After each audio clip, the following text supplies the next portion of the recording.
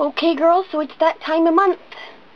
Time for favorites again. And I'm kind of sad because this summer has gone by so fast. But I say that in every video, so I'll just shut up and get on with the actual favorites.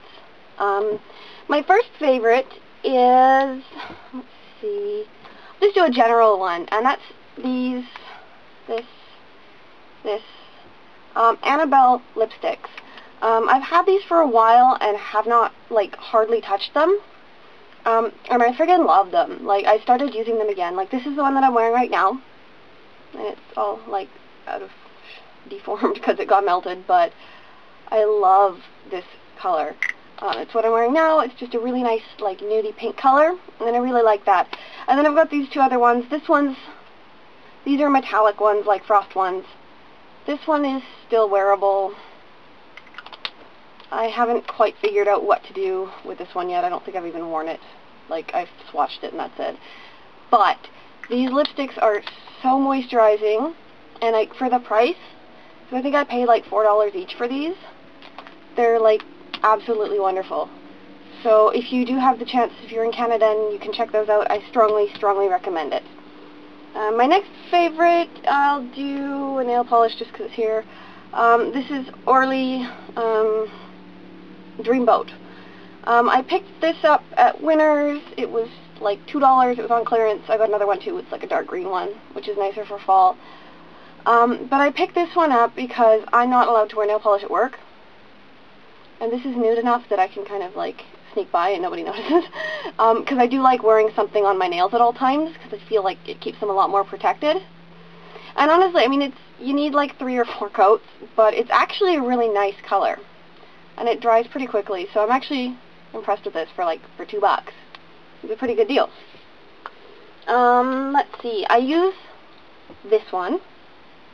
This is my Dream Matte Powder in medium, but um, I really do like it. It's like super, super matte. Like you stick it on and it's there.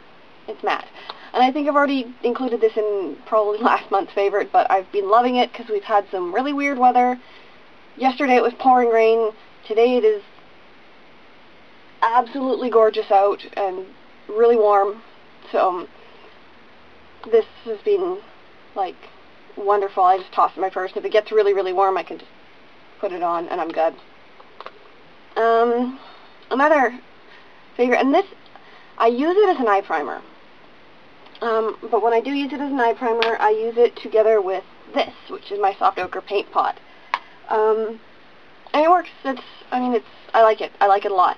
Um, but what I have been using it for recently, um, which has really made it an all-time favorite, is that I use it underneath my eyes.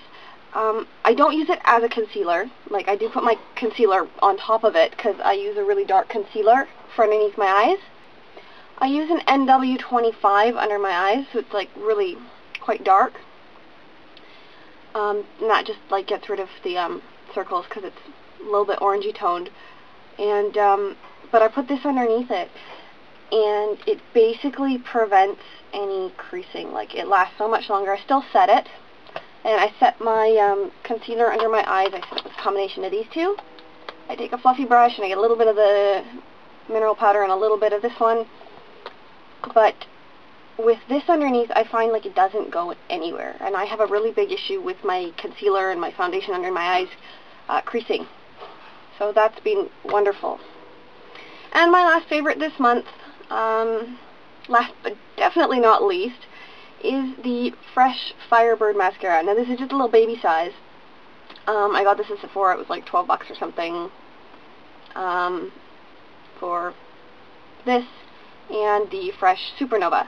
Um, the Supernova I haven't tried because I'm a huge fan of getting baby mascaras because it encourages me to throw them out more often because otherwise I will hold on to the same mascara for like six months and I know you're not supposed to do that. Um, but I've been absolutely loving this. It's like, I've got it on now. It's like just great on my lashes. It spreads them out. It gives them a little bit of volume, which I'm not a huge fan of volumizing mascaras. I do prefer length over volume. But I find this gives a nice little bit of both. And the best thing is, this is completely random, but some old guy came into my work the other day and he says, I like your eyelash. I'm like, oh, okay. But it was really cool because it was like this is I think that was like I had just started wearing it and I was just trying it out and I was totally in love with it, but that just made me even more in love with it. Like for an old like in his 60s, he even said he's like tell your boyfriend an old guy commented on your eyelashes, which is kind of strange, but I just thought it was really cool. So obviously it looks good and I friggin' love it. So yeah, I strongly, strongly recommend you check out this mascara um, if you have the option. I know it's really expensive, uh, and that makes me really sad because I probably won't be able to buy the full size of it. But, well, anyways, we'll see. But so far, I'm friggin', friggin' loving this. Just, know, looks like that. Just a giant, giant brush. And super pretty.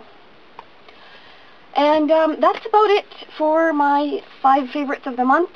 Um, don't want to overload you, so it's always going to be five, unless there's something like super, super amazing, which there's usually not in my life because I don't spend money, especially now. I'm kind of on a spending ban, so I hope you enjoyed this. Uh, don't forget to rate, comment, subscribe.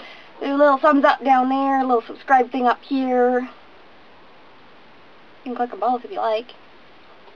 And um, I will see you in the next video. Ciao.